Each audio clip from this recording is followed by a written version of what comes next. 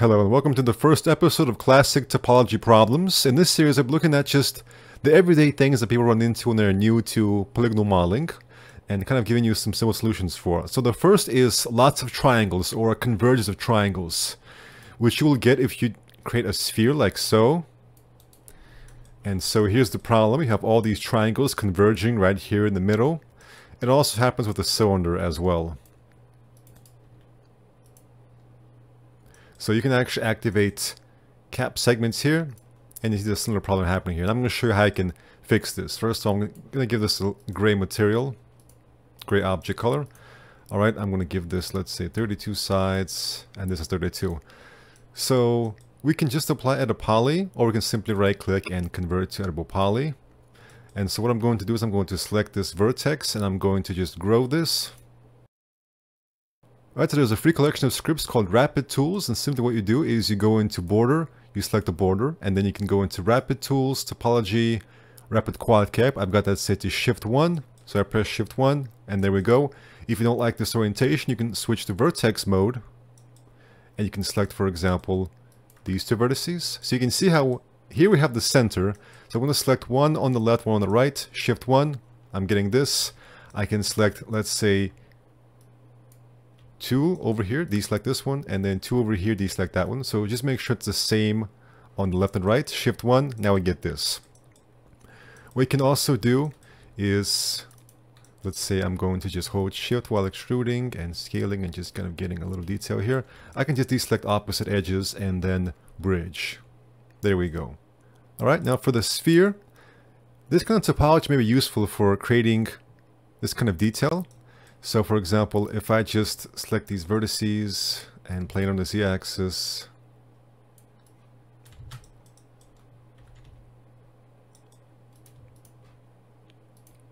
I can then just, let's say, create some detail. So,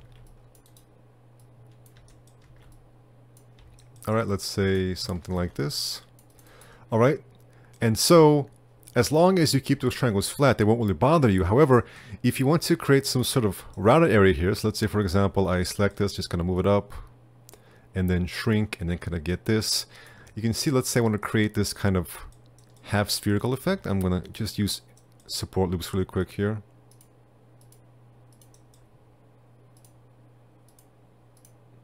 Alright, there we go. So I'm going to apply Turbo Smooth. You can see here, because this material is not reflective, it doesn't seem to be a problem. But I'm going to give a more chrome reflective material. We're going to render this to see what the problem is. Alright, so you can see we get this kind of distortion effect happening here. You can see we have this kind of almost like iris effect happening here, which we want to avoid in many situations, unless of course you're trying to create this effect. So we need to kind of get rid of these triangles. What we can do is we can do some polygon surgery. So in order to do that, what I'm going to do is just select this and then just grow and delete. And let's count how many edges there are here. I'm going to double click here and you can see if you press 7 by default to activate your statistics, you will see that it's 32 right here. Alright, so what I'm going to do is, a way we can avoid that actually is to create a box. I'm going to give it even dimensions here. And then turbo smooth. And then spherify. I'm going to scale this up here. Alright, so we've got this. Essentially, this is another way of solving this problem is by not starting from a sphere, but starting from the box, and then just using spherify after subdividing. What you can also do is you can actually create a sphere. What you can do is create an eight-sided, eight-segmented sphere, and then simply go into edit poly, then simply remove these top and bottom edges. And once again do the process of turbo smooth and spherify. But of course, you have changed the topology now. So if you want some sort of detail that kind of loops around here, it's much easier with this kind of topology here. For example, now I can just you know, select these kinds of polygons, and now I've got this kind of rotating detail. But with this, because of the topology, it's much more difficult to do so. However, what we can do here, remember, we had 32 sides here. So now what I can do is, let's say, delete the bottom half. And if we count how many edges there are here, you can see it's all 32. So I'm going to press Shift A, to quick align it right here, kind of move it up. All right, at this point what we can do is simply attach this. All right, now we have to carefully scale this and move this down. So you can scale it right there if you don't want it to be perfectly half circle. And then you simply scale it, move into position. I don't know about this doctor, this is a very dangerous operation here. We never had this serious of a case before. Nurse, prepare the bed. I can solve any issue. So I'm going to press S to activate snaps, Alt D for axis constraints, make sure the Z axis is active by clicking on it. And then simply left click on this and then simply snap right here. So because of axis constraints, if axis constraints was off, it would actually end up moving here. You can see how now it's off center. But with axis constraints, Alt D, it's only going to move according to this currently selected axis or axes. You can have two. And if you end up accidentally selecting something, so for example, if I end up clicking here and deselecting everything, you can just press Control Z. It's going to keep your same axis, but it's just going to go back to your previous selection. Now it's going to snap only on the Z axis, and there we go. Alt DS. We can now just scale a little bit. snap it right here. There we go. Now, for example, I can just select these edges, and I can, let's say, bridge. Notice how we get this really strange effect happening here.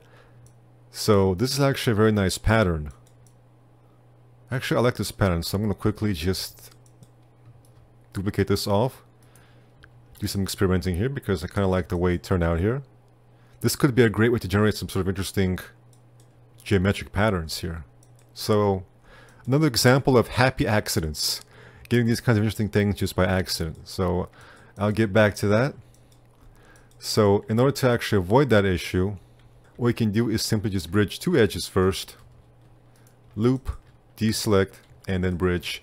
And now this way we get a much more sensible solution. There we go, we've nicely attached it. Another happy landing. Oh, and in Blender, when you create a cube, what you can do is just press tab. You can right click and subdivide. Open this up. Here you can change the number of cuts and you can increase the smoothness to get a perfect kind of sphere.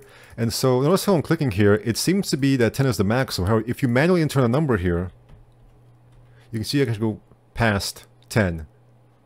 And thank you for the person in the comments who pointed that out. I always enjoy learning new things from the comment section, so please keep it up.